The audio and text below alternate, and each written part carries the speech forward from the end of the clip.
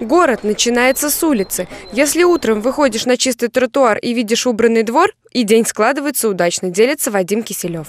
Живет он на улице Гагарина в Советском районе Самары. На генеральную уборку вместе с соседями выходит каждую весну. Сообща, говорит, и работать веселее, и потом отдыхать. Во дворе сложилась традиция после субботника устраивать большие чаепития. Убираем мусор, вот это все, ветки, все вот это все, все время убираем. Да чистота, самому же приятно выйти в чистый двор.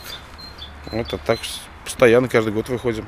В Советском районе Самары 11 управляющих компаний. Они обслуживают сотни жилых домов. Работа дворника не всегда на виду у жителей, но ее отсутствие сразу заметно. Ежедневно рабочие убирают снег, подметают дворы, наводят порядок и следят за благосостоянием двора. Например, у Ассоциации управляющих компаний 41 дом.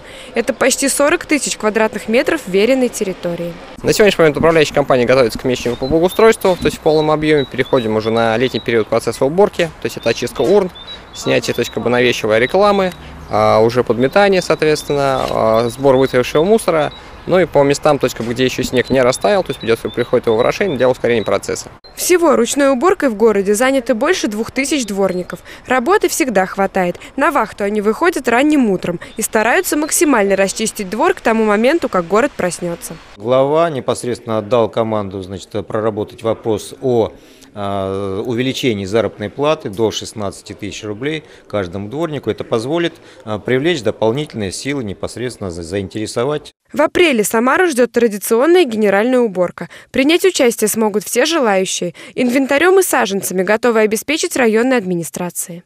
Алина Чемерис, Артем Сулайманов. События.